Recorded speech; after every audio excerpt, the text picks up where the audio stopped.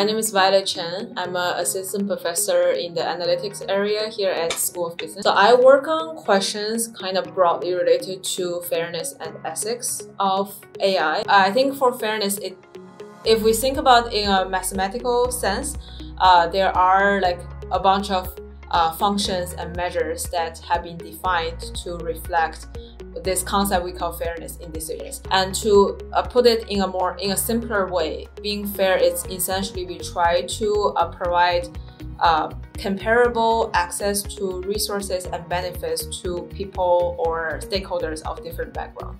Whenever we, you try to allocate some type of resources, because you need to allocate it in let's say among a number of people, we want to make sure that each of this person they, they can all benefit from the resource uh, in certain ways. I think the the way that it's connected to AI is because uh, nowadays we are using more of these modeling and algorithm uh, tools to support decision making.